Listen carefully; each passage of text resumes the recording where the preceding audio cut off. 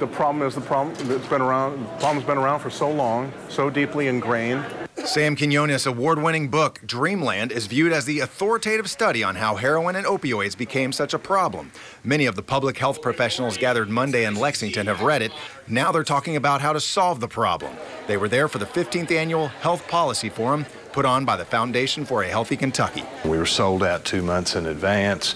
Uh, it's all because of the subject matter, we believe, uh, of uh, substance use disorder. One speaker, Dr. Kelly Firesheets, says the crisis shows no signs of slowing. There are more and more people who are becoming addicted. We're doing a lot of the right things. We just need a whole lot more of all of it. 1,404 people died of overdose deaths last year in Kentucky. Firesheets thinks even more people will die of an overdose this year. We really need to be intentional about reducing the supply of the drug that's in our community and also about providing treatment and support for people who are already addicted to that drug.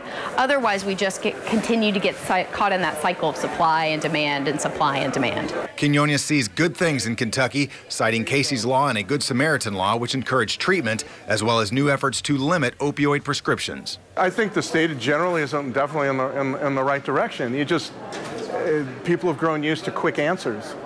And this is something that took 20 years or more to fester and develop into what we have now. So it might take that long to get out of it. I don't know. Now, many people at today's conference say they're waiting to see what Governor Matt Bevin and state lawmakers propose in January for the next two-year budget cycle. They say this has to be a funding priority. Mark Vanderhoff, WLKY News.